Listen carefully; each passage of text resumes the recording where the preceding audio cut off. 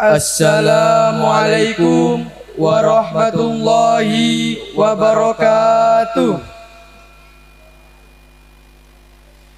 Alhamdulillahilladzi arsala rasulahu bil huda wa dinil haqq.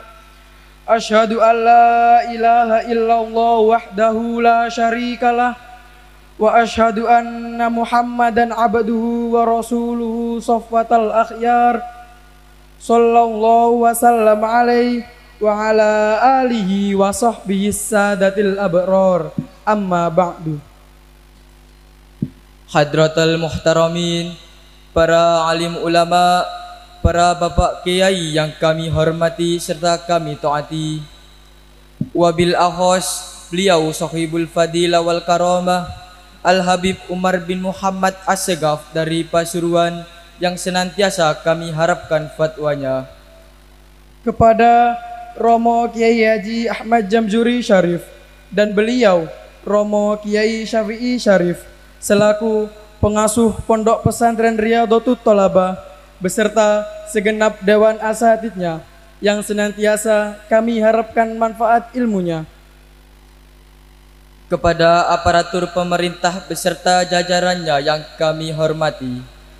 Kepada yang terhormat para tamu undangan khususnya wali santri dan rekan santri senasib seperjuangan yang berbahagia. Untayan kata syukur senantiasa kita panjatkan kehadirat ilahi Rabbi yang selalu melimpahkan rahmat, taufik, hidayah serta inayahnya kepada kita semua sehingga pada malam hari ini kita dapat bermuajah dan duduk bersimpuh untuk mengikuti acara haflah akhir sana dan haul Mbah Kabit beserta para leluhur dalam keadaan sehat walafiat.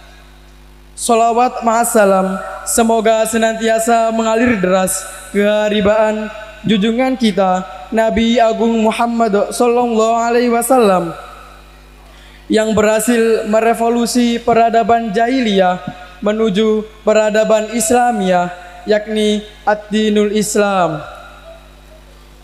Ma'asyirul hadirin rahimakumullah Perkenankanlah kami selaku Muqasimul Awqat akan membacakan susunan acara pada malam hari ini.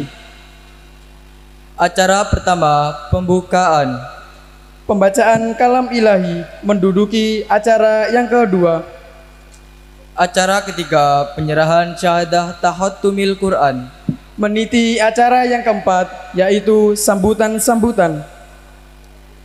Acara kelima istirahat yang akan diisi dengan gema sholawat Nabi Dilanjutkan acara keenam yaitu pembacaan rotibul hadat, tahlil dan burdah. Dilanjut acara ketujuh Mau'idah Hasanah dan akan ditutup dengan doa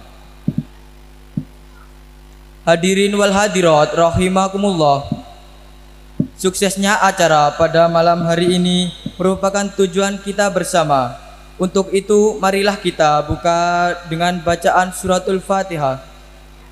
Ala hadihin niyah wa ala ma nawas salafus salih. Al-Fatihah.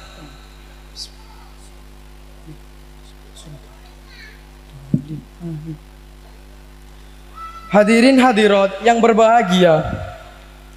Dikala Al-Quran dikumandangkan, maka dengarkanlah dengan seksama niscaya Allah akan merahmatimu.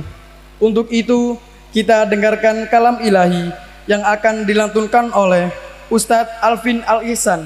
Kepada beliau kami persilahkan.